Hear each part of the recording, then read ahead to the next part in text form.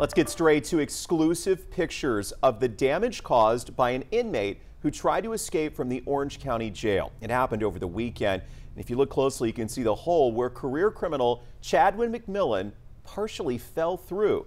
He had hidden in the ceiling for about 40 minutes before being captured. Good evening, everybody. I'm Jordan Williams. And I'm Brenda Machuti. Tonight, McMillan is facing an additional felony charge for trying to escape. 12 News reporter Kayla Chote got to see the damage up close. Kayla, what did you see? It was all hands on deck Sunday, inside and outside of the Orange County Jail. Around three authorities were alerted to an attempted escape by an inmate named Chadwick McMillan. Sheriff Jimmy Lane Mooney tells me it all started inside of the chaplain's office. A number of inmates, and uh, they were doing a church service in there. And then uh, when they got ready to leave, uh, Mr. McMillan kind of slipped into a corner. Investigators believe he climbed onto the wooden box used for baptisms, where he pushed his way into the ceiling. At one point, his feet came crashing through the ceiling, leaving some damage behind.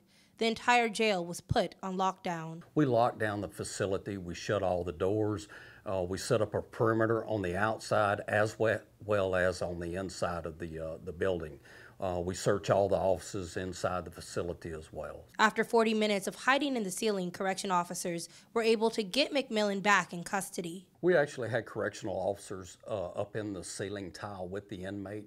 Uh, and we were able to go hands-on with him and get him out of there. And we took him out of a, uh, uh, a pipe chase uh, where all the pipes are located. Sheriff Mooney says he knew McMillan wasn't going to get far. If somebody does get up into the ceiling tile or up into the uh, ceiling, uh, there's some blockades up in there and it's virtually impossible. I'm not going to say it's possible, but it's virtually impossible to, uh, to escape this facility.